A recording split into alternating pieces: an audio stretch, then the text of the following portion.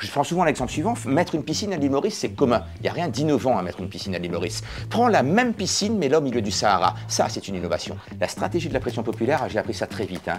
Arrêtez d'aller frapper aux portes euh, de ceux qui ont déjà le monopole et aller frapper à la porte de celui qui va vraiment prendre la décision, le client. Et le secret à la limite pour devenir entrepreneur, c'est de garder une âme de dauphin.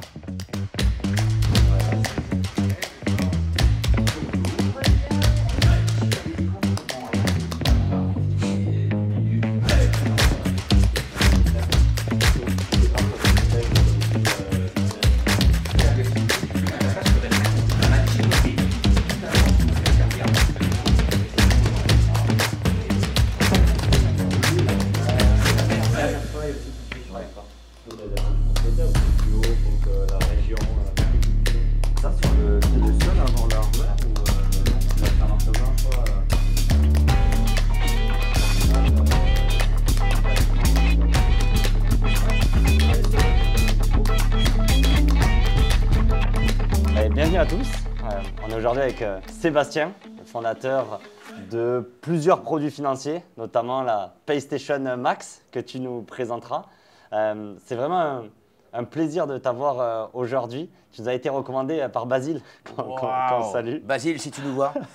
Ouais. Et euh, c'était vraiment une interview, j'aurais jamais imaginé faire cette interview à, à Maurice. Et je pense que beaucoup de gens vont se dire, il y a des entreprises, il y a de la fintech à, à Maurice. C'est loin de l'image qu'on peut avoir là-dessus. Donc je suis vraiment ravi de t'avoir aujourd'hui. On va parler de, de deux sujets avant de te présenter et, et te, te définir. C'est le, le sujet où beaucoup de gens se refusent d'attaquer, de lancer une boîte ou de s'attaquer à des industries ou de faire des choses en fait.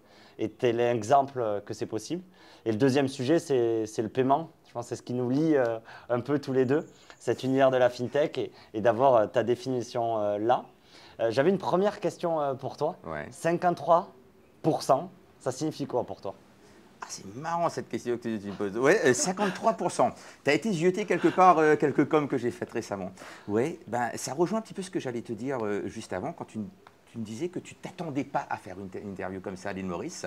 Ben, moi, tout petit Mauricien, tout humble, je ne m'attendais pas à donner une interview de ce genre non plus euh, de ma vie. Et du coup, ben, ce 53% est lié un petit peu à ça. C'est qu'il y a une stat qui est tombée récemment, qu'on a eu du mal à avoir parce que les chiffres ne sont pas facilement récoltables. Forcément, je connais mes chiffres, mais je ne connais pas Ouais. ceux du marché forcément. C'est que MIPS euh, contrôle, ou en tout cas, enfin contrôle le mot est fort peut-être, mais en tout cas 53% des flux financiers e-commerce mauriciens, c'est-à-dire entrant à l'île Maurice ou interne à l'île Maurice, passent par MIPS maintenant. Donc aujourd'hui, on reviendra sur MIPS, ta, ta société. Euh, Peut-être, si tu devais euh, te, te définir, tu vois, de ta première ligne de code à 9 ans, je crois, Ouais. jusqu'à aujourd'hui où tu nous reçois dans tes, dans tes magnifiques euh, bureaux avec, euh, tu es quand même la personne qui euh, a créé une technologie où la moitié de ton pays, des flux bancaires de ton pays passent par La ta manière dont technologie. tu me présentes, j'ai les chevilles qui enflent. Non, mais c'est vrai. Tu as réussi à faire ça. Comment ça s'est passé en, tu vois, en, en- en peu de temps, en fait, de tes 9 ans de ta première ligne de code à euh, aujourd'hui la situation que tu as Alors déjà, ce que je pourrais te dire, c'est que rien n'a été prévu. Rien n'a été prévu ni prémédité. Tu sais, là, euh, franchement, là, tu es en train d'interviewer un entrepreneur qui a créé sa boîte, en fait, ses boîtes, on va voir Ouais. Ça n'a jamais été prévu, surtout quand j'avais 9 ans. À 9 ans, tu vois, je, j'allais dire que je faisais comme tous les gamins, en fait, pas du tout. Euh, c'est qu'en fait, j'a- j'avais un, un pote qui avait un ordinateur. À l'époque, c'était un 286 ou un 086, je ne sais plus, enfin, un vieux truc.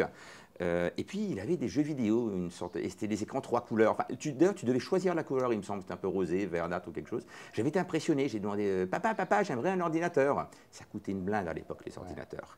Et là, mon père, il a fait un truc génial, c'est qu'il m'a offert un ordinateur. Et en m'offrant un ordinateur, la coïncidence a fait que dedans, il y avait, je sais pas, enfin, les, les- les vieux se souviendront, GW Basic euh, qui était installé dessus. Et euh, par hasard, j'ai découvert en fait qu'on pouvait programmer un ordinateur. C'est-à-dire que ce n'était pas de la magie que l'ordinateur, il y avait un jeu vidéo direct dessus, on pouvait le programmer. Et vers 9 ans, 9 ans et demi, j'ai commencé ma première ligne de code qui était, bon, pour ceux qui s'en souviennent, print. euh, alors print, ouvrez les guillemets, bonjour, fermez les guillemets. Et je crois qu'il fallait finir par, enfin je sais plus s'il y avait un point virgule à la fin.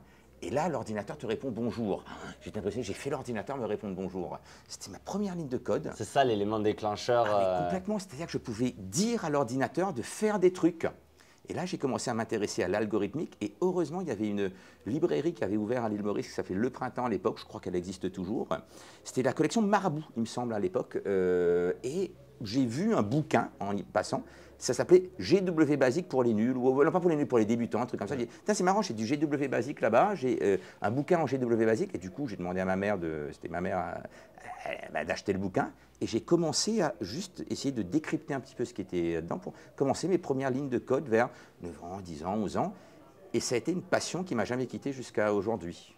Mais il y a eu des petits chemins. Tu n'as Oh, pas eu suivi le, le parcours de 9 ans, il crée son premier euh, logiciel ou, euh, ou Oh, pas du tout. Comment, tu comment ça s'est Pas passé du tout, mais à la base, tu vois, l'informatique, euh, jusqu'à mes euh, 22 ans, 23 ans, ça devait rester juste une passion, un side, un hobby, quoi, euh, une passion à côté.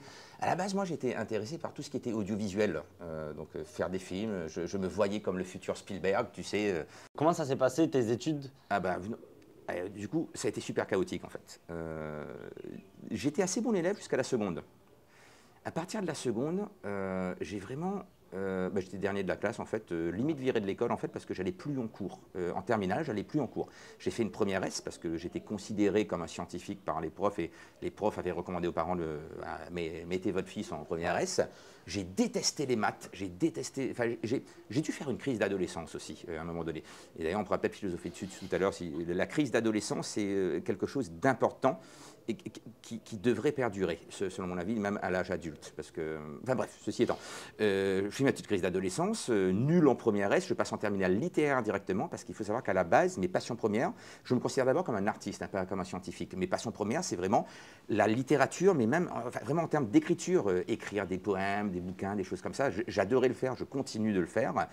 Faire de la musique aussi. je faisais beaucoup de musique, de musique électronique. hein. Je faisais chier mes parents. On a le droit de dire chier sur ta chaîne Ouais, on a le droit. Non, je, je- je- je faisais chier mes parents parce que j'avais pas d'heure avec euh, des logiciels comme Fruity Loops à l'époque où je faisais des loops. enfin, C'était la folie, quoi. Je me considérais vraiment comme, comme un artiste et je voulais faire métier dans l'écriture, les scénarios, la réalisation et ou l'audiovisuel. Tout ça, ça a foiré. Alors pour deux raisons, parce que déjà, euh, en termes d'études, je t'ai refusé partout, dans toutes les Tu avais voulu, étudier en, t'avais voulu étudier en dehors de Maurice au Oui, je voulais étudier. en- bah, déjà parce qu'à l'île Maurice, on ne faisait pas vraiment d'études en audiovisuel. Je voulais étudier à l'extérieur de l'île Maurice. J'étais refusé euh, partout parce que j'étais pas un scientifique. J'étais un littéraire qui en plus avait foiré sa, grosso modo sa, ter- sa terminale. Tu rentrais comme- dans aucune case. bah, aucune case. Et comme chacun le sait, littéraire, bah, ça ne sait rien faire littéraire. hein. C'est- C'est connu, ça ne sait rien faire. Et, et du coup, bah, j'étais refusé un petit peu partout. Euh, et j'ai quand même persisté dans une voie qui m'a accepté, c'est le théâtre. Donc j'ai été accepté en Doug Théâtre à Besançon. Je suis mauricien à Besançon, quoi. Il faisait chaud. ah, c'est très chaud, je ne te raconte pas.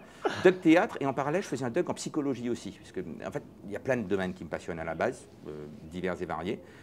Mais vraiment, je ne trouvais pas ma voie. Je ne trouvais pas ma voie. Déjà, je ne voyais pas comment j'allais gagner du pognon avec. Euh, euh, parler franchement, enfin, Ouais. du pognon, c'est vulgairement dit, mais gagner ma vie, quoi. Ouais. Euh, avec euh, les voies de type artistique. Je- et puis, je ne voyais pas de débouché. Et puis un jour, il y a eu un déclic parce que je continuais à programmer. Mais c'était un hobby. Ouais. Le soir, le week-end. N'importe quand, ouais. Ouais. Je me suis dit, mais Sébastien, mais t'es con, quoi. Euh, en informatique, il y avait de la demande euh, de, de programmeurs qui arrivent. Je veux dire, fais-en ton métier premier et passe en hobby bah, la musique, l'écriture, les poésies, des, choses comme ça. Et du coup, c'est là que j'ai voulu avoir quelques diplômes sans aucune idée d'être entrepreneur ou quoi que ce soit à la base. hein, Et là aussi, j'étais refusé partout en France euh, parce que informaticien, c'est scientifique, donc forcément littéraire, ne savait pas. Et finalement, je suis rentré à l'île Maurice pour faire des études d'informatique à l'île Maurice et j'ai été accepté dans les académies mauriciennes parce que j'étais mauricien, pas parce que j'étais compétent ou quoi que ce soit. Et du coup, j'ai eu mon premier diplôme. Je n'ai pas été beaucoup plus loin que le bac plus 2, en fait. Si, j'ai un bac plus 3, en fait, euh, parce que j'ai fait un bac plus 3 au CNAM euh, en France, en cours du soir. Mais grosso modo, j'ai très vite été sur le marché du travail en informatique, avec jamais l'idée, par contre, de créer mon entreprise. hein. Par contre, tu as trouvé très vite en fait une- un premier job du coup dans l'informatique. Ouais. Euh, oui, très vite. Très très vite un premier job. et même de multiples jobs qui se sont... En fait, à la base, il faut savoir que je suis mauricien, je ne suis pas français. Ouais. Et le souci, c'est qu'il faut donc un titre de séjour en France pour y rester et pour aussi avoir euh, l'autorisation de, de- de travailler. Travailler, euh, Donc, je n'avais pas le droit de travailler plus de 17h30 par semaine légalement. C'était compliqué en fait euh, l'histoire. Du coup, j'ai cumulé pas mal de stages en fait. C'était- des, des stageounets, des petits stages, euh, jusqu'à finalement obtenir la nationalité française. pas parce que j'ai épousé une française ou quoi que ce soit, parce que bah, j'a- j'avais commencé à. Euh, j'avais dé- déjà trouvé un employeur qui avait fait toute la paperasse pour employer un étranger, parce que j'étais euh, étranger euh, en France. Et du coup, j'ai commencé à bosser avec lui dans l'informatique. Et j'ai cumulé, allez, 3, 4 jobs en France, effectivement. Un peu en accéléré hein, sur, les, années, mais comment tu es passé à, monter ta première boîte? Comment ces boîtes ont évolué pour aujourd'hui avoir un des plus gros acteurs fintech de Maurice?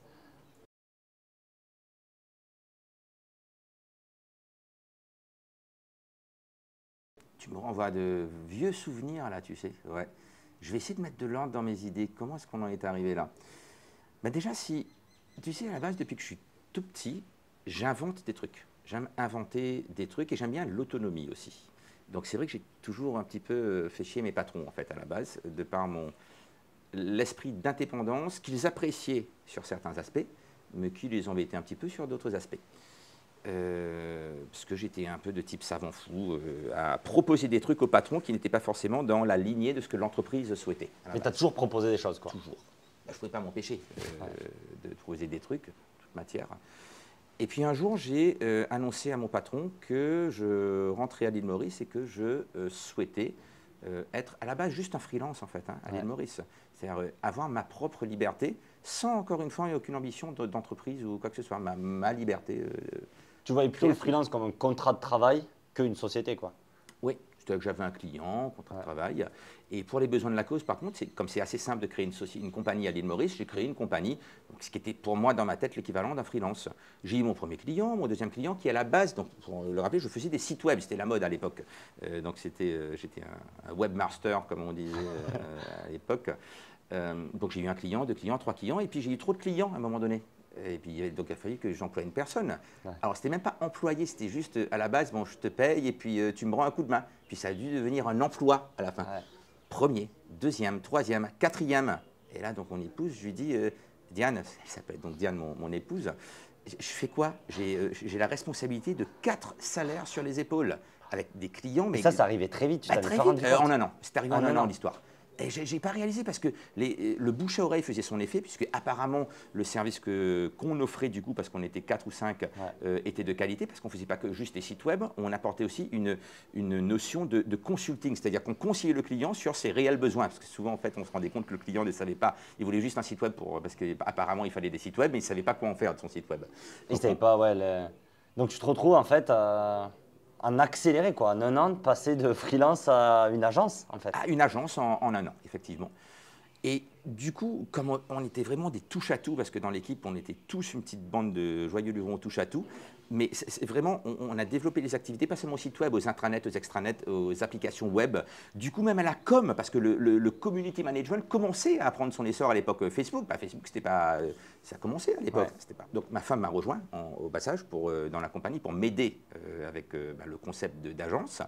On a créé une deuxième compagnie qui s'appelait Genesis, qui était une agence de com euh, à côté. Donc, encore une fois, deux, un employé, deux employés, trois employés. Donc, tu avais l'agence web qui faisait plus que de l'agence web. En fait, c'est qu'on faisait des. Presque une, euh, de l'IT, quoi. De l'IT, ouais, ouais, des, ouais. Euh, des, apps. Si tu dois détester le terme, mais ouais. de la tech, en fait. De, de la tech? De la tech, ouais, j'en pourrais en parler aussi. La, la, la, tech, pas de la tech pour de la tech. Voilà. Mais ouais, donc du coup, on a créé Genesis. Euh, ensuite, on a même créé une troisième entreprise en parallèle. Tu avais quel âge à ce moment-là? Euh, Je pense euh, entre. Oh, J'ai créé la compagnie quand je devais avoir 25 ans, je pense. Ouais. Euh, je crois. Et tu t'es retrouvé avec trois agences à oui. moins de 30 ans, quoi. oui, oui, oui. Euh, la troisième étant euh, du hardware. On vendait du hardware en fait. Ça, par contre, très mauvaise expérience à cause du service après-vente. Ouais. Euh, on a très vite fermé parce que, franchement, ça, c'est un métier. Hein. Le service après-vente, c'est un métier. Tu un peu retourné sur le, sur le hardware. oui, effectivement. on y reviendra. Sauf y que reviendra. je délègue. c'est... Il se démerde avec le service après-vente. Donc, tu as, as, cette agence-là, en ouais. fait, qui a commencé tes clients, le besoin de la tech, donc tu retournes dans ta passion pour l'informatique. Derrière, tu rajoutes, tu te comprends qu'ils ont des besoins euh, un peu euh, secondaires, avec notamment tout ce qui est de la com ou autre, parce qu'en fait, le numérique, tu mets le doigt sur plein d'autres sujets. Ben là, tu mets le doigt sur un truc, c'est que nos clients ne nous voyaient pas comme des techniciens, ils nous voyaient comme des trouveurs de solutions à des ouais. problèmes soulevés dans leur quotidien. Et du coup, ben, mais pas plus tard que tout à l'heure, ça a continué. J'ai une cliente à moi qui m'a appelé parce qu'elle avait. On fait plus maintenant du community management. Mais euh, Sébastien, on est dans la merde. Il y a un problème X avec euh, voilà, sur, sur, sur, Facebook. Qu'est-ce qu'on fait? Ouais. On a acquis la réputation de résoudre des problèmes, à la limite de quelque nature que ce soit, qui implique à un moment donné de la tech. Ouais. Et du coup, c'est par opportunisme dans le premier sens du terme, hein, pas dans le sens péjoratif du terme, bah, que- que- qu'on s'est retrouvé à faire de la com, des intranets, des extranets, parce que les clients venaient, euh, venaient nous voir et disaient Bon, Vous avez fait un super site web avec un super back-office, etc. Mais quelque part, vous ne pourriez pas nous aider à avoir, euh, euh, à, à avoir un ERP ou des. Bah, ouais, allons-y. euh, Ouais. euh, J'y connais rien au départ, mais ça ne doit pas être si sorcier que ça. Et en fait, en vrai, c'est jamais sorcier. La technologie, c'est jamais sorcier. Et là, du coup, tu as ces trois agences. À quel moment ça devient euh, MIPS et Ah. à quel moment ça devient euh, une fintech? Il y a, je dirais, 6 ou 7 ans, le e-commerce, on commençait à en parler à l'île Maurice. Et on n'était encore qu'une, entre guillemets, agence web. Et on travaillait, on avait beaucoup de, de clients dans le domaine de l'hôtellerie. L'île Maurice, bon, apparemment, c'est joli. C'est réputé pour euh, les de miel et les beaux ouais. euh, hôtels, euh, même Et si c'est pas que ça. C'est pas que ça, effectivement. Et donc, euh, bah, on faisait beaucoup de sites web pour les hôteliers. Mais ça devenait de plus en plus à la mode dans les autres pays, euh, notamment, de payer à distance. Bon, déjà, de, faire le booking à distance, la réservation à distance de, l'hôtel. Donc, on a été pas mal sur le booking aussi. Mais à un moment donné, l'hôtel, il voulait sécuriser son argent. Et c'est vrai que les transferts bancaires, réconciliation manuelle, etc., c'était pas trop le, trip. Donc, euh, il y a quelques banques à l'île Maurice qui ont commencé à avoir leur module e-commerce, mais c'était pour faire genre, quoi. Tu vois, on a du e-commerce, mais nous-mêmes, le banquier, on ne sait pas comment ça marche, le truc. Le donner aux clients. euh. Je ne savais pas le vendre, je ne savais pas l'utiliser. Et il s'avère, quand j'étais en France, je bossais pas mal dans le e-commerce, notamment avec Fnac.com, euh, éventuellement. Et donc, j'avais quelques notions par rapport à ça. Et donc, c'était à la base pour aider nos clients à intégrer le e-commerce qu'on a créé nos premiers modules de e-commerce qu'on a appelé Biquad e-payments parce que alors faut savoir que quand on programme moi j'aime beaucoup euh, tout ce qui est intelligence artificielle automatisation des, des- Ouais, t'as- quand on fait un truc le rendre générique quoi. Donc tu as un client qui nous demande une intégration e-commerce. Ben, je- je- j'ai en horreur de faire ce genre de choses, de faire l'intégration que pour ce client. Donc du coup, ben, on a commencé à programmer notre petit module générique qui, du coup, pouvait pour accepter très facilement avec un clic un deuxième client, un troisième client, un quatrième client. On ne faisait pas de l'intégration one-to-one, tu Ouais. vois. Ben, Du coup, on a commencé à avoir une quinzaine de, ma- désormais dénommés marchands. Du coup, c'était des marchands maintenant. C'était plus des clients à proprement Plus parler. que des sites. Bah non, c'était des marchands. Et, euh, et du coup, on a acquis la réputation d'aller très vite et de manière efficace dans le user-friendliness de euh, l'intégration e-commerce à la base et dans la rapidité. C'est-à-dire que le, le- le client, c'était plus long pour lui d'ouvrir son compte bancaire que d'avoir son e-commerce, en fait. Un peu comme un plug and play PayPal, quoi. Tu vois, on avait développé un petit module euh, fait à Maurice, tranquillou, quoi. Et tu lui disais, va à la banque euh, MCB, la grande banque, et demande cette, cette- ça. Exactement. Tu vendais pour les banques, quoi. Je vendais pour les banques avec, le, à l'époque, le non-soutien de la banque. Le Ouais. non-soutien, voire même, euh, quand le client appelait là-bas, la banque disait non, mais passez par nous directement. Mais à la fin, le, client se rendait bien compte que la banque n'avait pas de solution métier à lui proposer. Ils avaient un vague payment gateway avec un API plus ou moins vague, euh, sans support derrière à proposer, et puis euh, au revoir monsieur, tu vois. Donc du coup, ils choisissaient toujours la fonctionnalité, à, défaut de choisir la, banque. Et, donc Bigquad ePayments est devenu un jour une entreprise qui s'appelait MIPS, Mauritius Internet Payment System. Donc le département est devenu l'entreprise. Et donc aujourd'hui, c'est euh, MIPS, c'est combien de personnes, c'est combien d'agents, c'est combien de clients? Comment tu le, tu le Alors définis, MIPS a absorbé les autres compagnies. Donc du coup, on a gardé les mêmes, les mêmes euh, compétences et les mêmes, euh, pour beaucoup, les mêmes personnes d'ailleurs Ouais, hein, ouais. qu'au départ. Euh, on a absorbé ces compagnies. Du coup, on, fait, on s'est vraiment concentré sur les écosystèmes de paiement. On va parler de ce, ce gros mot, qu'est-ce que c'est les écosystèmes de paiement Euh, on est seulement 17 ou 18 euh, actuellement, plus le chien, Mipsy. euh, Oui, qu'on a vu, j'espère. Petite mascotte. Euh, on a, je crois, plus de 1000 ou 1050 marchands actuellement. Alors, ce que- commerçants, pardon, en français. C'est ouais, merchant, un, un commerçant. Ouais, on va dire un millier de merchants. Alors maintenant, segmentés sur l'île Maurice, les Seychelles, les Maldives et Madagascar. On commence à en avoir deux ou trois sur l'Afrique. Au moment où on met un pied en Afrique, on a une soixantaine de partenaires third party. Alors, qu'est-ce que c'est un partenaire third party? Ça peut être une institution financière quand il s'agit de, bah, de- que les sous-sous transitent d'un compte A pour aller vers un compte B, mais ça peut être euh, un, partenaire métier de type, euh, je sais pas moi, un ERP, un CRM, quelque chose à qui on est plugué. Parce que base, j'ai oublié de te le dire, mais notre euh, slogan, c'est Payment Connecting Words. Worlds of a Merchant, donc euh, le, les mon- le paiement qui connecte les mondes du marchand. Or, les mondes du marchand, à la base, ce sont des mondes métiers. Je veux dire, le gars, il a un software comptable, il a un, un software HR, il a un booking engine à faire tourner, il a une gestion de stock, un inventaire, des choses comme ça. Ce sont des, des opérations. Et notre boulot, c'est via l'acte de paiement comme centre de gravi- gravité, de connecter euh, ces messieurs les banquiers, bien sûr, mais aussi avec les outils métiers de ce marchand. Et ça, ça a été un, un sacré plus. ouais. Je sais que tu regardes absolument jamais la concurrence ou ce qui se fait euh, ailleurs. Est-ce que tu acceptes le diminutif, euh, le Stripe euh, mauricien? Je sais pas si tu connais la, la société, tu as dû en entendre parler quand même de- de que nous Stripe. faire que nous- euh, non, tu acceptes un peu cette, cette image et ce raccourci euh, de ce que tu as créé aujourd'hui? Je l'entends, mais je ne nous définis pas comme un Stripe. Euh, en fait, je, je- je n'ai pas encore vu euh, dans le monde d'entreprises qui cumulent l'ensemble des... Stripe, en fait, est même, euh, en l'occurrence Stripe, non, mais euh, des équivalents comme PayPal, on est connecté à PayPal, Ouais, par bien exemple. sûr. ouais. PayPal ou Stripe peuvent être vus comme des concurrents. Mais en fait, non, ce sont des partenaires pour nous. C'est-à-dire que même les autres gars qui font du paiement, c'est des partenaires dans notre écosystème. Euh, on pourra parler de ma définition de ce qu'est un écosystème au-delà du gros mot, de, de ce que tout le monde utilise le mot écosystème maintenant. Donc Stripe, ouais, disons que ce que fait Stripe, c'est en partie ce qu'on ce qu'on fait. Un Shopify, c'est en partie ce qu'on fait. Un un- ce qu'on fait. Un- un- en fait, chacun nous perçoit D'une manière différente. d'une manière différente et en général en fonction de son propre cœur de métier. Au départ, les banques nous percevaient comme des concurrents, les payment gateways comme des concurrents, les booking engines comme des concurrents, les softwares comptables comme des concurrents. Pourquoi? Parce qu'ils voyaient uniquement l'angle par. euh, euh, ils Ah, MIPS fait du booking engine. Ouais, on fait du booking engine, mais on se connecte aussi au booking engine et on aide le booking engine à se connecter, hello mon coco, à ce euh, accounting software par exemple. Welcome, come and play with us. Ouais. Donc, Stripe, oui, mais en partie. Tu parlais euh, que tu étais concurrent de tout le monde. Donc, euh, tu parles les booking engines, les outils comptables, les banques. Combien de fois les gens t'ont demandé, mais les banques vont te tuer Sachant que c'est quelque chose pour les gens qui ne connaissent pas Maurice, l'immense bâtiment de la MCB quand on arrive à l'île Maurice, Ah, il est visible, oui. ah, il est. Ouais. les banques sont gigantesques ici, Oui. ont un impact sur le pays euh, Je fort. crois qu'on est l'un des pays africains, si ce n'est le plus bancarisé. Euh, oui, les, les banques, historiquement, oui, oui, oui, sont très, très présentes à l'île Maurice. Euh, contrairement à certains pays africains où c'est plutôt les telcos en matière de, de- de paiement. Ici, oui, les banques sont très imposantes et très présentes. ouais. Combien de fois on t'a dit, ça marchera pas ce que tu vas faire? Les banques te tueront, quoi.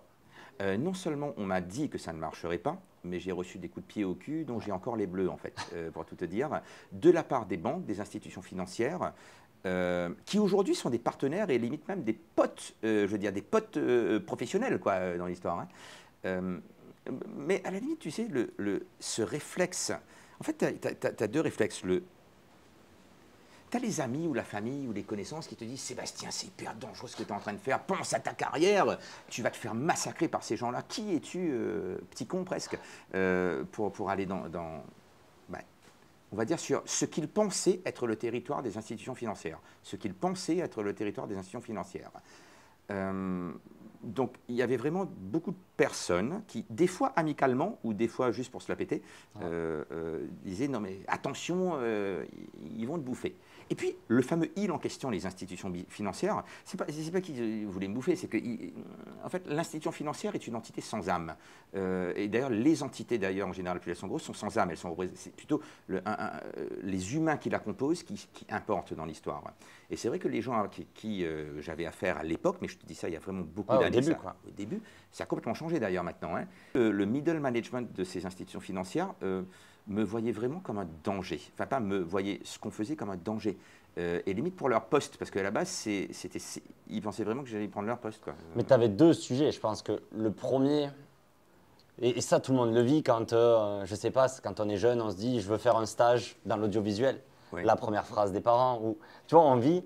Tu penses que ça vient d'où? Ça vient de la peur? Ça vient de l'incompréhension? C'est c'est quoi un peu ces raisons qui font ou que ça soit pour choisir une entreprise en stage, monter une start-up, euh, prendre une décision, il y a toujours des gens qui essayent de nous bloquer euh, dans, dans ça. Toi qui, qui, a- qui l'as vécu à plusieurs moments de ta carrière, Je l'ai vécu souvent. euh, avec deux catégories de personnes, des gens qui étaient ostensiblement dans une position de blocage et d'autres qui étaient dans une position d'inquiétude euh, à ma place, c'est-à-dire qui s'inquiétaient pour moi. Et du coup, vous voulez rejeter sur moi cette inquiétude. Et en fait, il y a un toc verbal à l'île Maurice, euh, qui est peut-être pas qu'à l'île Maurice d'ailleurs, qui, qui m'étonne toujours, c'est qu'à chaque fois que tu, tu- tu dis à, à quelqu'un, pas à chaque fois, souvent, disons, quand tu dis à quelqu'un, tiens, euh, euh, je vais me lancer dans tel truc. Et là, tu as un toc verbal en face de toi. Ah, mais tu n'as pas peur que, tu n'as pas peur que, ou bien, ah, mais attention à ceci. Euh, non, à la base, elle est bien ou pas l'idée? Je veux dire, avant. c'est- c'est- et, et du coup, il y a une phrase de. Alors, attribuée à Mark Twain à la base, que- qui est mon, mon petit leitmotiv à moi, euh, c'est euh, Ils ne savaient pas que c'était impossible, alors ils l'ont fait. Euh, bon, il y a Churchill qui l'aurait repris- l'aurait reprise de manière un petit peu vu- plus vulgaire. C'était un truc du genre euh, euh, Ils ne savaient pas que c'était impossible, alors les cons, ils l'ont fait. Euh, J'ai une autre version plus. euh, Qui est sur ton LinkedIn. euh, je- ah, ouais, ok, d'accord. euh, c'est mon LinkedIn. J'ai une version un peu plus. euh, je- je- disons que je, suis le, un gars qui, depuis tout petit, j'ai l'impression que je ne perçois pas la notion de danger comme tout le monde. C'est peut-être justement parce que un petit flingage du cerveau, je ne sais pas quoi, hein, mais le- je ne perçois pas forcément, mais même physiquement, je veux dire. hein, je faisais beaucoup de conneries, euh, euh, et je montais au sommet des arbres, euh, des trucs que je ne verrais pas mon fils faire, quoi, Ouais, tu vois. Je- ouais. Peur qu'il se rompe le cou là où des- des- j'avais l'impression que beaucoup de personnes voyaient un truc inache- enfin, inaccomplissable, ça se dit peut-être pas, mais inaccomplissable. Dangereux. Moi, je, je- je faisais juste le truc et je voyais pas.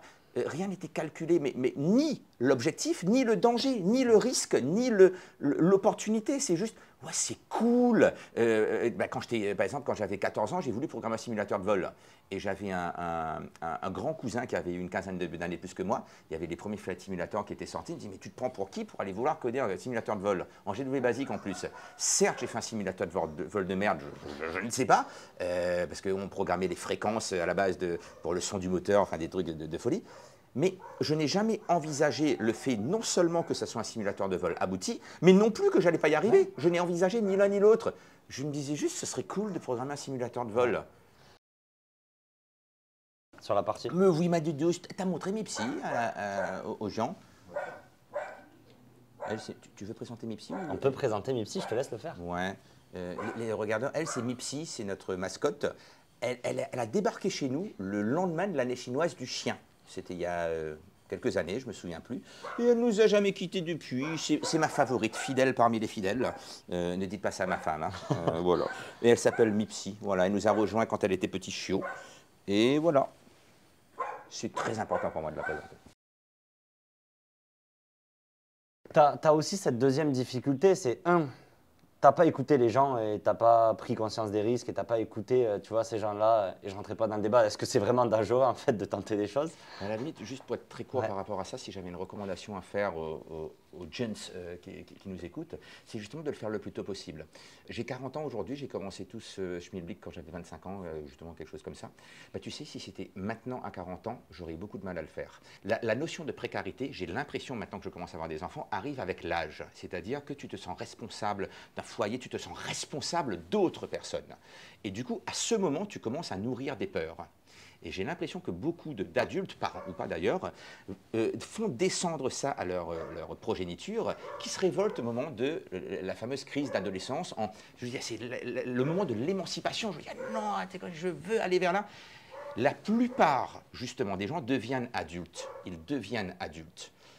Et qui, là, par contre, c'est péjoratif dans, dans ma bouche en ce moment. C'est-à-dire, comme disait Antoine de Saint-Exupéry, euh, je crois qu'il disait un truc du genre, euh, la plupart des adultes ont été des enfants, mais peu d'entre eux s'en souviennent cet enfant, je veux dire, qui, envisage, euh, euh, l'enfant ou l'adolescent d'ailleurs, hein, qui envisage des trucs qui peuvent paraître impossibles aux, adultes, bah, devient un adulte à un moment donné. Et soit par jalousie, peu importe, ou alors par peur, les raisons peuvent être multiples et variées, veulent projeter sur toi les impossibilités qu'ils verraient à accomplir ce que toi, étant jeune, eux pourraient faire euh, bah, quand ils ont 40, 50 ans par exemple, parce qu'eux auraient peur de le faire tout de suite.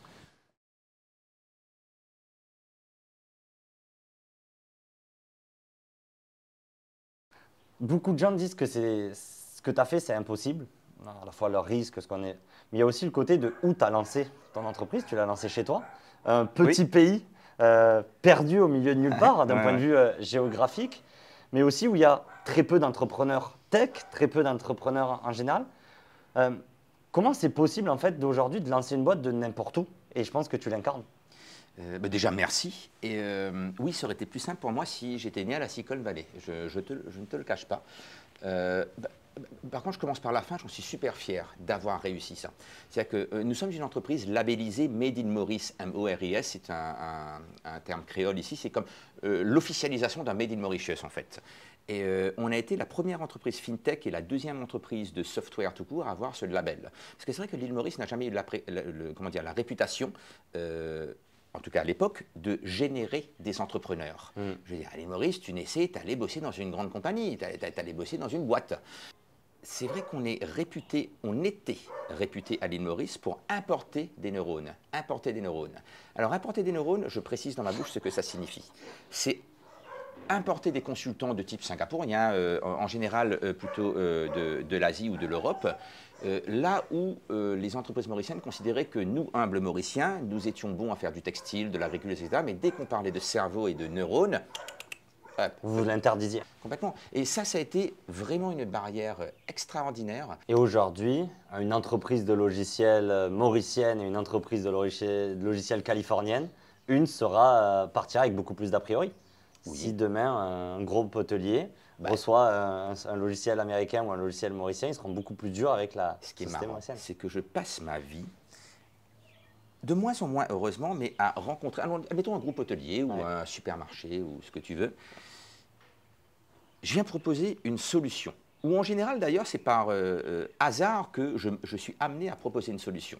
Donc je rencontre un, un CFO, un CEO, un directeur, un responsable commercial, qui au départ ont en effet un a priori, parce que l'autre gars californien par exemple, il suffit qu'il vienne s'asseoir et qu'il dise qu'il vient de Californie pour que c'est ok, on prend votre truc, on le prend votre truc, tu vois.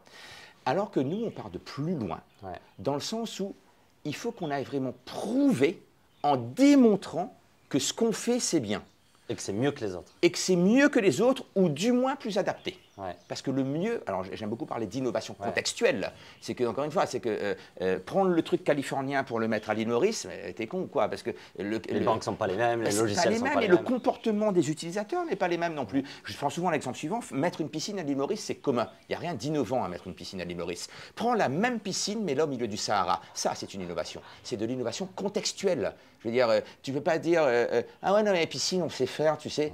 Non, crétin, je te le dis de la mettre au Sahara, ta piscine. Et, enfin, crétin, non, je ne dis pas crétin non, non. quoique des fois. Euh, et, et donc, le, le- le- le- le- on, on- on part de loin. On part de loin, même si ça commence à se savoir qu'on a des compétences à l'île Maurice par rapport à l'étranger. Mais ça, c'est visible partout dans le monde. Je pense, euh, ce sentiment. euh, en fait, les, les gens s'interdisent par eux-mêmes, les communautés s'interdisent par eux-mêmes, les territoires s'interdisent par eux-mêmes et se comparent toujours à Oui. meilleur, en fait, dans les idées reçues. Et du, Et, euh, et c'est beaucoup de, de- de problèmes, quoi. bah, du coup, le- l'expression nul n'est prophète en son pays, qui n'est peut-être pas qu'une expression et que malheureusement, ça s'avère vrai. Nous-mêmes, on a connu une expansion plus rapide à Madagascar qu'à l'île Maurice. Il faut le savoir. Parce que là-bas, on est considéré comme étrangers, tu vois. Donc c'est bien, c'est des étrangers, ils, ils savent leur truc. Ils ont réussi là-bas et ils vont réussir euh, chez nous. Euh, la dernière partie de, l'interview, c'était que tu me présentes euh, vraiment ce que tu fais. Il y a deux sujets qui sont hyper importants, euh, je pense pour moi, mais aussi pour les gens. C'est souvent on a cette image, beaucoup de gens ont beaucoup d'images en tête sur les pays émergents et ont du mal à comprendre que les pays émergents sont plus innovants dans certaines thématiques et dans certains secteurs, et notamment dans la technologie, et notamment dans la fintech et les paiements. Je voudrais que tu commences par m'expliquer ce qu'est en fait l'instant payment. Parce que par exemple, en Europe, on sait le paiement par carte, euh, avec sa carte plastique, métal, peu importe les innovations contextuelles, avec le sans contact avec Apple Pay. On sait certains aujourd'hui par le téléphone, on peut s'envoyer de l'argent par des, des fintechs comme Lydia ou autre. Et on sait la solution de l'IBAN de faire un virement en attendant 5 jours, arriver à l'autre. Aujourd'hui, dans la majorité des pays émergents, il y a un nouveau moyen de paiement qui a apparu. Est-ce que tu peux me le présenter, ces fameux QR codes qu'on voit partout euh, Oui. à Maurice? Et, euh, du coup, je vais, je vais commencer avant de te parler du QR code, de ce que je crois que c'est Henry Ford qui disait ça. Je ne demande jamais à mon client ce qu'il souhaite parce qu'il me demanderait un cheval plus rapide. Or, moi, je fais des voitures. Là où je veux en venir avec le QR code, c'est que le QR code a été inventé, je crois, dans les années 60. tu vois. C'est un vieux truc, le QR code. Donc oui, effectivement, euh, à l'île Maurice et dans les pays africains, il y a la notion, alors malheureusement, je vais commencer par ça, par le QR Code Payment. Autrement dit, tu arrives avec ton téléphone portable et tu as une application de paiement qui est installée dessus, qui peut appartenir à une banque ou à un telco, peu importe. Tu scannes le QR Code chez le marchand et tu payes le, le commerçant avec le QR code en instant payment. Autrement dit, en scannant un QR code, bah, tu as de l'argent qui quitte ton compte bancaire et qui atterrit sur le compte bancaire du commerçant. Et pour bien comprendre, euh, aujourd'hui, quand je paye avec ma carte de crédit, ce n'est pas vraiment ce qui se passe. Ah non, aujourd'hui, quand tu payes avec ta carte de crédit à l'île Maurice, bon, déjà, l'argent arrive le, ce qu'on appelle le next working day ou le next free working days, dépendant si c'est la même banque ou une autre banque, sur euh, ton, ton, compte bancaire. Du coup, tu vois, MIPS, notre euh, baseline, c'est Payment Connecting World. Je crois que je te l'avais dit euh, quelque part en, en, préambule. L'idée, c'est vraiment que nous, MIPS, nous nous sommes positionnés sur l'intégralité des modes de paiement de type digitaux, les signaux de fumée ou les, euh, échanges de coraux, on ne fait pas, pas encore, enfin on ne le fait plus en tout cas. L'intégralité des types de paiements digitaux, donc ça va de la carte de crédit jusqu'au instant payment de type QR code ou même en contactless avec du, touch and pay de type téléphone à, machine, on en parlera tout à l'heure peut-être pour venir via cet acte de paiement instantanément, non seulement débiter et créditer bah, à la fin un compte bancaire, ou en tout cas des, des wallet ou des comptes bancaires, et venir via cet acte de paiement connecter les logiciels métiers on a parlé tout à l'heure, euh, du merchant. Donc c'est vrai qu'il y a différents types de, modes de paiement qui existent en Europe et à l'île Maurice, la carte de crédit étant la plus réputée. Euh, la particularité par exemple de, Maurice ou de beaucoup de pays africains, c'est qu'il y a cette possibilité de payer directement soit avec son forfait de téléphone, soit avec un compte bancaire, sans passer par des acteurs comme Mastercard et Visa. Et eh oui. Mais ça crée aussi un problème, et, on était au restaurant euh, hier, où tu te retrouves en fait avec 15 moyens de paiement face à toi. Le QR code, malheureusement qui a été dénaturée. C'est-à-dire que l'idée de base, elle est bonne, mais elle a été dénaturée par les prestataires qui ont voulu offrir ça comme un moyen de paiement. D'ailleurs, maintenant, il y a un abus de langage, c'est qu'on, abus de langage, c'est qu'on parle de QR code payments. Je suis désolé, le QR code est un moyen d'identification. Or, un paiement, c'est une identification, une authentification et un flux financier. Le QR code n'est qu'un moyen d'identification. Résultat, maintenant à l'île Maurice et peut-être en Afrique, tu vois fleurir des QR codes papier un petit peu partout. Donc tu as des vitrines avec des stickers, des QR codes dans tous les sens où l'idée de base a été dénaturée. Alors du coup, nous, ce qu'on en a fait avec ces machines, et même pas forcément que ces machines, c'est qu'on a rendu de manière universelle les QR codes dynamiques sur des écrans digitaux, où tu as un seul QR code qui vient injecter automatiquement le montant euh, dans, euh, dans, ton téléphone portable, du coup, avec ton application mobile de ton choix. On est vraiment universel. Donc vraiment, tu n'as aucune intervention manuelle, et tu n'as qu'à dire oui, je le veux, oui, je souhaite payer. Euh, le truc automatique que la caissière te présente via la PlayStation, et l'argent en 15 à 20 secondes à peu près quitte ton compte bancaire pour arriver sur le compte bancaire du commerçant, et tout est synchronisé, c'est-à-dire que la caissière euh, ou le caissier reçoit automatiquement sur la PlayStation, euh, là en l'occurrence elle s'est parlé cette machine, Payment Success, thanks.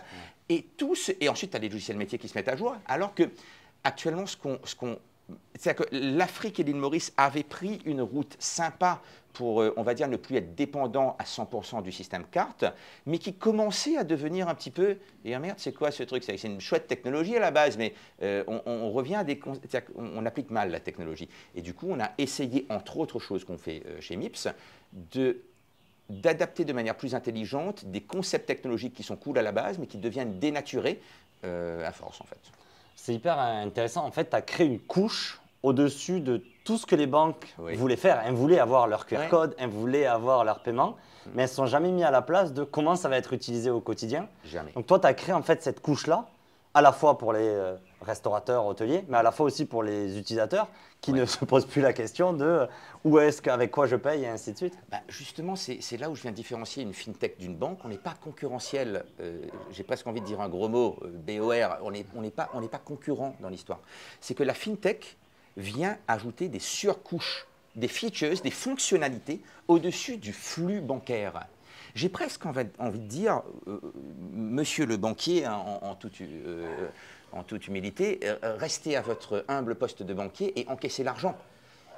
C'est pas péjoratif dans, ma bouche, c'est que moi, je ne sais pas faire du process de flux bancaire. C'est pas mon métier. Nous, on vient faire presque du UX, en fait, du user experience, et rajouter des fonctionnalités.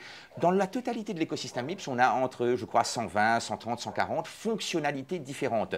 Qu'elles soient e-commerce, qu'elles soient euh, euh, euh, présentielles, on va dire, on a des fonctionnalités différentes qui s'adaptent à des cœurs de métiers différents, des assureurs, des hôteliers, des restaurateurs, des supermarchés, des retailers, whatever. Et du coup, ces fonctionnalités métiers, ça y est, on a réussi à expliquer aux, aux institutions financières, par pitié, utilisez-les. Si vous ne voulez pas vous sentir amoindri, euh, non pas en surcouche, mais en à côté, je veux dire, parce que ça signifie qu'on a un qui est au-dessus de l'autre, mais à côté en tout cas, en surcouche en vrai, je veux dire, euh, mais c'est rien de péjoratif en surcouche, je veux dire, euh, et pour qu'une surcouche fonctionne, il faut une sous-couche, sinon ça n'a pas de sens. Donc utilisez-les et soyons ensemble, vous les institutions financières et nous les fintech, nous avec ce qu'on sait faire, c'est-à-dire comment est-ce que pour de vrai chez le marchand, chez le commerçant, pardon, ça fonctionne et comment pour de vrai, toi en tant qu'utilisateur, c'est facile dans ta vie d'utiliser ce, ce concept. Et toi, le banquier, ben, le banquier, je veux dire la banque, bah oui, tu es la sous-couche qui encaisse l'argent. Donc notre métier, c'est un peu l'art, je dis bien l'art, de savoir rendre user-friendly, ou en tout cas de savoir rendre intelligent la manière de prendre un paiement pour que non seulement il soit simple à prendre, pas cher, attention, pas cher, et surtout universel et interconnecté avec le reste. Parce que malheureusement, dans l'univers dans lequel, bancaire dans lequel on vit, c'est que tu as vraiment l'acte de paiement qui a toujours eu son royaume à part, l'acte de paiement, et le reste, et le reste, et le reste, mais jamais de liaison. Et euh, voilà un petit peu ce qu'on essaie de faire. Il y a énormément d'opportunités en fait, euh, et ça va revenir sur ce qu'on disait, mais tout le monde pensait qu'en fait c'était que les banques qui devaient gérer les paiements parce que c'est, comme tu dis, c'est un royaume. Mais en fait, personne n'a fait, et seuls les entrepreneurs ou les gens comme toi ont réussi à découper en fait que dans une catégorie il y avait plusieurs fonctions. Un exemple concret. Tu es un hôtelier, pour prendre l'exemple de l'hôtellerie, et par définition, dans ton métier, tu as besoin de prendre un acompte euh, avant que le, le- le touriste arrive, et puis quand il arrive, le, le Pour solde. que la chambre sera là. Voilà. Tu vas voir une institution financière. Il va te donner le moyen de paiement. À toi, en tant qu'hôtelier, d'aller peser des taquets, comme on dit à l'île Maurice, d'aller appuyer sur des boutons pour manuellement te rappeler dans ton agenda, avoir ton agenda, ton machin, pour que tu aies des opérateurs qui aillent prendre le paiement manuellement au départ et se rappeler qu'il faut prendre le paiement après. Attendez les gars, pourquoi on ne viendrait pas automatiser ça? C'est-à-dire que tu envoies un email avec un lien sécurisé, il rentre sa carte de crédit, on fait ce qu'on appelle de la tokenisation derrière, en avertissant le, le- le- le- le client en fait qu'on va mémoriser son moyen de paiement à la Netflix en fait. Donc on prend 30%, 50% au départ, parce que c'est une règle métier, une règle de gestion de la part du marchand. Et puis automatiquement le système, on connaît la date d'arrivée du client, et ben le jour J, notre système va prendre l'argent automatiquement avec une possibilité de cancellation. Ça paraît tout con à dire, mais comment dire, un- un- un- une banque ne va jamais proposer, avoir l'idée de proposer une solution métier. À la fin du jour, ça reste deux paiements. C'est- deux captures de, de carte de crédit à la fin. Sauf que c'était fait intelligemment. Pareil, maintenant, on a une offre qu'on appelle AIS, le Advanced Installment System, qu'on propose à l'île Maurice, où on permet de faire du crédit à 0% sur les cartes de débit et de cartes de crédit. En fait, qu'est-ce qui se passe? C'est que nous, on a des règles avec des intelligences artificielles derrière où on va venir analyser le risque en fonction de plein de critères euh, quand tu enfonces ta carte de crédit dans cette machine. Et on vient permettre aux commerçants de split le paiement en 3 fois, 6 fois, 9 fois. Bah, quelque part, c'est juste, entre guillemets, 9 paiements qui sont faits à la banque. Mais en métier, d'un point de vue métier, ça change la vie du, cli- du marchand. Donc oui, les banques et les fintechs bossons ensemble parce qu'on sait faire des trucs. Pas qu'on sait faire des trucs. On a des idées, on les construit, on les flingué du cerveau à la base dans notre tête, pardonnez-moi l'expression, mais pour avoir des idées métiers qu'à la base, euh, la banque n'est pas construite pour avoir ces idées. Ça, c'est là où ta force, ça a été, et c'est là où tout le parcours s'explique, de commencer en fait avec les marchands. Commencer en construisant leur site vitrine. Tu sais, c'est là ta force, c'est la vraie ça la différence. stratégie de la avec- pression populaire. La stratégie de la pression populaire, j'ai appris ça très vite. hein. Arrêtez d'aller frapper aux portes euh, de ceux qui ont déjà le monopole et aller frapper à la porte de celui qui va vraiment prendre la décision, le client. Je veux dire, le commerçant, pour rester dans le domaine de la fintech, c'est mon client, mais c'est aussi le client de la banque. Et le commerçant, il n'est pas en train de chercher une solution, il n'est pas en train de chercher. Le paiement n'est pas une fonctionnalité, je suis désolé, le paiement n'est pas une fonctionnalité. Le paie- le- le- le- C'est une technologie, c'est euh. une technologie, je veux dire, à la limite évidente maintenant. Euh, le marchand, le commerçant est à la recherche de features, de fonctionnalités. De problèmes, euh, de solutions qui résolvent un Donc problème. moi, je propose au marchand des fonctionnalités. Si maintenant il y a de la résistance au niveau de la banque, c'est le consortium des marchands, la, la- la population, qui va faire pression auprès de qui? De droit, de droit. Et maintenant, je dois dire que ça marche super bien. Ça marche, ça marche bien, bien mieux qu'avant parce que les banquiers ont évolué. Je veux dire, il y a une rotation. On parle de ça. il y a 12 ans quand même qu'on a commencé le Ouais. truc. hein. Bah, les, les premières conneries de départ. Et, et- et maintenant, oui, c'est vrai que les, les institutions financières nous considèrent de moins en moins, nous les fintechs, comme des concurrents, mais comme des partenaires. De moins en moins. Ça ne veut pas dire totalement que c'est gagné la partie, Non. mais de moins en moins en tout cas. Et euh, je sais que tu- t'étais mal à l'idée, mais tu as quand même commencé ta première ligne de code à 9 ans euh, dans, dans une chambre, dans un magnifique pays, mais un pays, euh, comme on dit, tu vois, coupé, Oui. coupé du monde. Aujourd'hui, il y a quand même 53% Ouais, des fou. paiements de ton pays, quoi, Ouais. qui passent sur tes lignes de code ou celles de, écrites par tes équipes. euh, En e-commerce, hein, le aujourd'hui. 53%. En en Je- j'ai- mais mais je- pourquoi là- pas penser à ce 53% sur la totalité du digital Ça arrivera. Sachant que, attention, je ne suis pas forcément fier du 53% en part de marché parce que ça signifierait que j'aurais foutu dehors. euh, il y a 4 ans, c'était 0,1%. Il y a 4 ans, c'était 0,1%. Aujourd'hui, c'est 53%. Mais quand tu regardes la part Le de volume. gâteau, bah, du coup, on a contribué humblement à augmenter la part du gâteau. Pourquoi? Parce que un de nos, une de nos marques, c'est eShops.mu, où en fait on propose gratuitement à des commerçants qui n'ont pas les moyens ou les connaissances euh, d'aller en ligne, ben, un, un site web e-commerce euh, tout automatisé, peut-être avec pas des fonctionnalités de Clé en ouf, main, mais euh. c'est clé en main, on en a 500 je crois. Euh, ben, du coup, ces gens se sont ouverts à la population mauricienne et à l'exportation via le- les e-commerce de e-shops. Donc en fait, quelque part, on a contribué à augmenter la part du gâteau. Et donc du coup, même les autres qui pourraient se considérer comme concurrents ont bénéficié de l'augmentation de la part de gâteau. Donc les 47 autres pourcents, si tu veux. Ben, euh, à la base, j'ai presque envie de dire, dites merci les gars. Parce que vous êtes sur un secteur qu'on a contribué à augmenter en, en taille. quoi. Tu penses que euh, demain, la technologie pourra permettre d'avoir euh, d'autres Sébastien Est-ce que Maurice verra d'autres entrepreneurs capables de créer des monopoles technologiques dans les prochaines années? Alors, je ne souhaite pas que MIPS ait un monopole. Parce qu'en fait, 53% gravitent, transitent à travers MIPS. Mais c'est important, je considère MIPS comme un écosystème. C'est-à-dire que ces 53% de flux sont redistribués sont redistribués à d'autres et font participer d'autres qui ne sont même pas dans les flux. Je te donne un exemple. On est connecté à des logiciels comptables, par exemple. On va dire QuickBooks. On a, on- on- on a une connectivité directe avec QuickBooks. Ça, veut dire que via ce flux des 53%, on vient de enable QuickBooks quand même. Euh, derrière, donc c'est c'est pas tout 53% pour notre pomme, c'est qu'on a, comme je te disais, une soixantaine de partenaires avec qui, une sorte de Zapier si tu veux, avec qui on est connecté.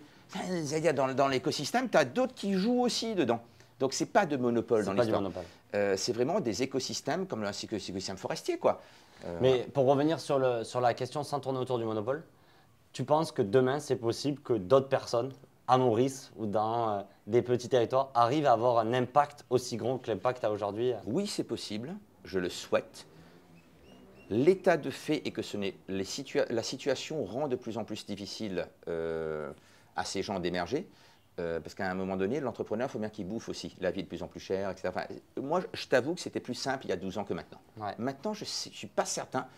Euh, tu sais, j'avais un banquier avec qui je pouvais discuter à l'époque pour créer la compagnie. Je n'avais pas de sous à l'époque pour créer la compagnie. Il me fallait 25 000 roupies. Ouais, c'est ma femme qui les a prêtés en plus. Euh, c'est plus compliqué aujourd'hui. Oui, c'est possible. Mais ça n'a rien à voir avec la technologie, par contre. Ça a à voir avec, je pense, presque. euh, il faut être mal câblé, peut-être, dans le cerveau au départ, pour oser ne pas voir ces dangers au, départ et le faire le plus tôt possible. Donc, oui, c'est possible. euh, mais ça même pas forcément en rapport avec euh, la technologie, c'est plus un état d'esprit d'innovateur contextuel, ou, peut-être simplement tu vas innover dans des procédures aussi, hein, sans technologie. Innover dans la procédure. Tu sais, on parle souvent de digitalisation à l'île Maurice. Euh, mais les, les- les gars du IT confondent souvent digitalisation avec scanner un PDF. Euh, scanner une feuille et la faire devenir un PDF. Non, non, attends, attends. Euh, Là, tu as juste scanné un bout de papier, tu l'as fait devenir un PDF. Oui. Un papier en Voilà. formulaire. Si tu appelles ça de la digitalisation, alors techniquement, dans le Larousse, probablement tu as raison. Mais non. Euh, digitalisation, tu as toute une part d'automatisation, de process. Et peut-être que tu peux être un entrepreneur qui va être un méga spécialiste des, des, comment dire, de la conceptualisation de flux de données, sans forcément aller dans de la technologie. Moi, il y a un dernier truc qui- que Ouais. je voulais discuter avec toi qui m'impressionne. c'est euh, j'ai travaillé pour une fintech que j'ai vu grossir de 4 employés à 400 employés. On a développé des, des, des fonctionnalités. On n'a jamais eu l'intégration QuickBooks, ça en fera rire euh, certains. Il y a quelque chose, il y a quelque chose qui m'impressionne, c'est euh, et tes bureaux sont magnifiques dans cette maison. Tu as créé vraiment un univers à, à ton image, quoi. Comment c'est possible de faire tout ça avec si peu de ressources, en fait Et tu sais, en plus, avec l'équipe, on a, on a une blague, c'est que euh, souvent, on, se retrouve, euh, tu connais des films Mission Impossible, je pense, on se retrouve avec des, paris difficiles. C'est-à-dire qu'on a deux jours pour boucler, un truc, et à la base, c'est difficile. Putain, coupure d'électricité, euh, Covid, trois gars malades. C'était déjà difficile. Mais non, monsieur, c'était trop simple. difficile et trop simple pour vous. On va la rendre impossible, cette mission. Et on, est sous, est sous adrénaline tout le temps. Euh, je, je- je ne sais pas comment répondre à ta question, comment c'est possible. En fait, le comment, je, je ne sais pas. Je ne me suis jamais vraiment posé la question sur Tout le est possible, comment. en fait. Tout est possible, l'impossible n'est que temporaire. Euh, et en fait, la petite anecdote que, que- que- que j'ai, mais elle n'est même pas de moi ce truc, mais tu vois, c'est marrant, des, des fois, avec le, temps, tu t'appropries des trucs, tu penses que c'est à toi. L'histoire, c'est que, euh, pour euh, paraphraser Churchill et euh, ce cher Mark Twain, c'est qu'au départ, il y avait un, un- un village avec un, un sage, enfin des sages, un conseil des sages, où tout le monde savait que cette chose, peu importe la chose, était impossible. Tout le monde le savait. Et puis un jour, tu as un imbécile, mais vraiment un imbécile, un con quoi. Il est arrivé, mais tu vois, tout le monde savait que ce truc était impossible, mais ce con, il n'avait pas ce savoir, il n'avait pas la connaissance du fait que c'était impossible. Et du coup, mais vraiment ce con quoi, il l'a fait. Il l'a fait parce qu'il ne savait pas que c'était impossible, il n'avait pas cette sagesse. Et le conseil des sages s'est retrouvé face à un petit con en fait, qui a fait un truc que tout le monde savait impossible. Et voilà.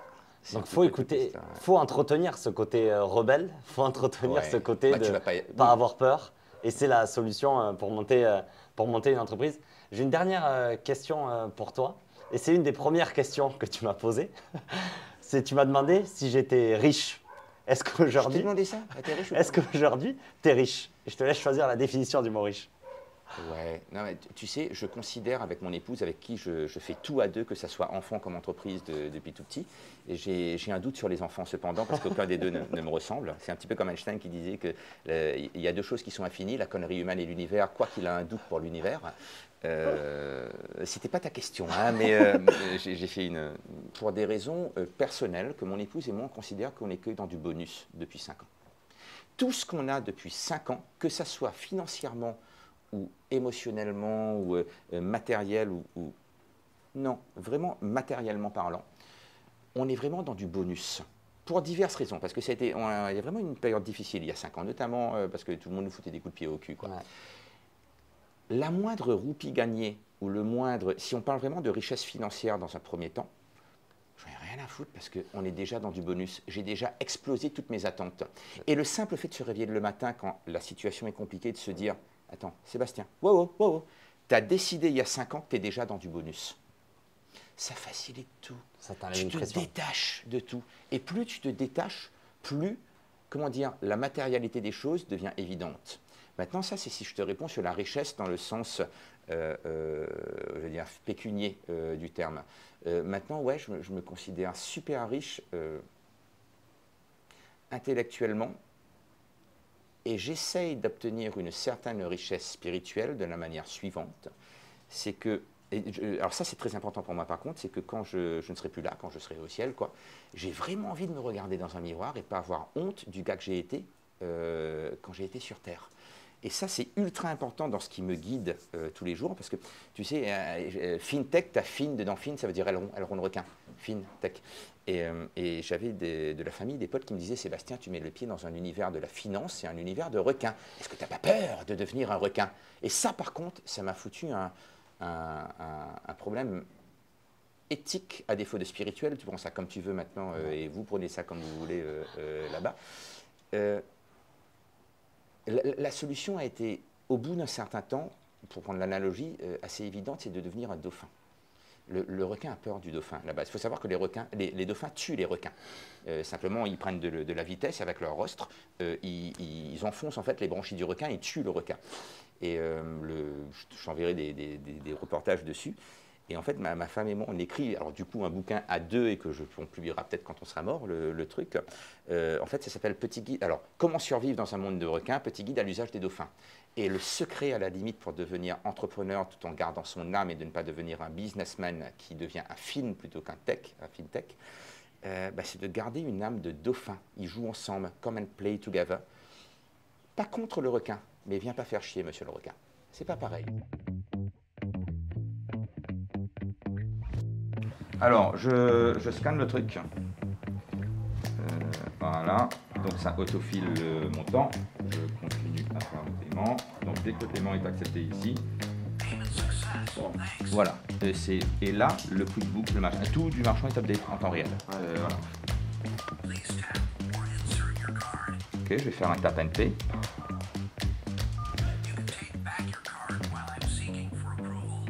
Et là, je passe en vrai par les réseaux de l'AMCB et tu vas voir que dans 3, 2, 1, la réponse va arriver. S'il te plaît. Euh, c'est que quand je vais confirmer, contrairement à certaines machines où il faut attendre la fin du paiement pour les files d'attente en caisse, regarde ça. Je peux donner la carte à ranger, gagner quelques secondes pour les caisses. Et quelques secondes plus quelques secondes, ben, ça, ça fait gagner pas mal de temps. Payment success, thanks. Euh, suivant s'il vous plaît. Euh, ensuite, tu as le dignité. Enfin, t'as plein de trucs. tu- Ouais. tu-